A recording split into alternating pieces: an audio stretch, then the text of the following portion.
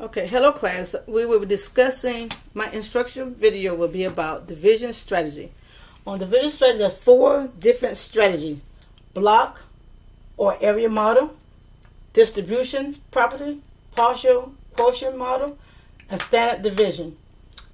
I prefer the standard one. That's like the long division. But um, we will be discussing all four, and I will be giving problems, example of all four strategies. The first strategy we were discussing will be box method.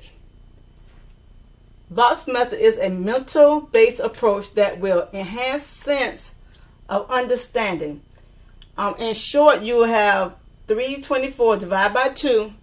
Use the box, box method where you divide, where the 2 is on the outside and the numbers that you divide in 324 in will be on the top of the box.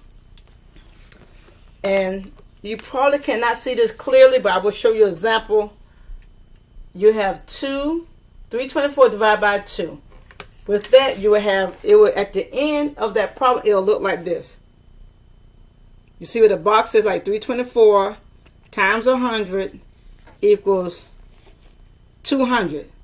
Subtract one, two, 324, try 200 for 324 be 124. You carry that to the next box. Be one, 120 subtract from 124 and put 60 on top because 60 times 2 is 120.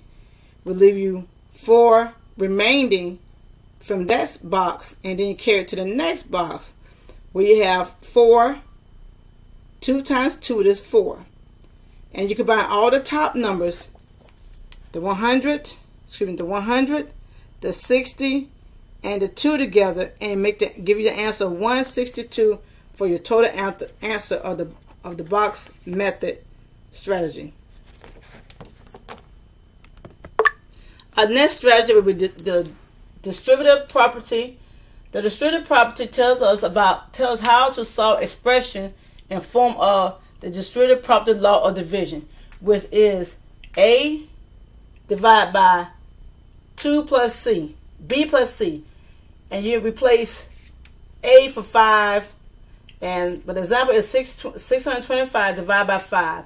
And you break it down in three different stages. You have 600 plus 25. Then you have 600 plus 20 plus 5.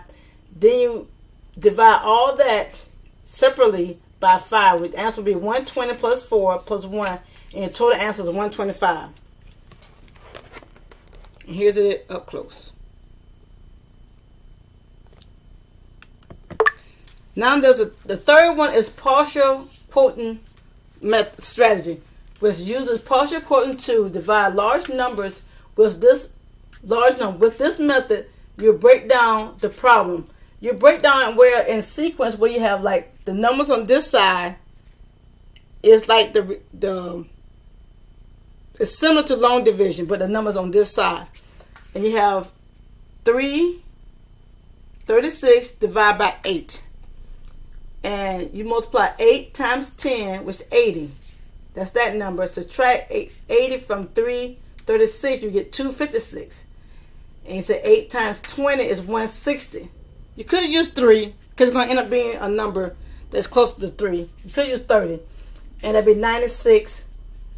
Then you had 10 times 8 is 80. And that makes it 80. 96 minus 80 minus 96 is, is 16 and still had these numbers on the side. As in sequence 2 times 8 is 16 will make the remainder of 0 so you combine 10 20 and 10 and 2 together the answer would be 42 that's the distributive that's another prop, um, partial quotient strategy. And to see that up close I use a little bit of different numbers. I have like 4 4 496 divided by 4 but it's the same concept. Your answer is 124 on here.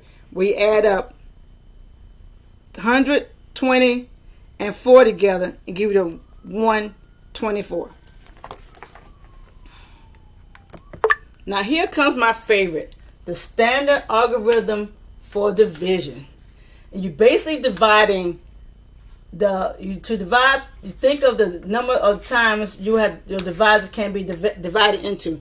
You're basically using long division, old school math, old school division, back in the 80s, back in the 70s, back in the 60s type of math that was used when I was growing up to do math problems. You basically divide two, uh, 224, 228 by 4. And you say, basically just put the 5 over the 2. 4 times 5 is 20. Bring down the 2 as your, your, your um, subtract 20 from 22, it gets you 2. And say 4 times 7 is 28. Bring down 8. Bring down the 8 to, for the next problem. Then 7, 4 times, excuse me, 4 times 7 is eight, 28 with the remainder of 0. The answer is 57. So 20, 228 divided by 4 equals 57. That's the easiest math that I know of. But the, in fourth grade math and fifth grade math level, they are using the box method. But there are four different strategies that you can use, but they prefer the box method division strategy. This concludes my presentation, my uh, instructional video. I hope you got some information out of it, or you learned something out of it. I hope you have a good day. Thank you.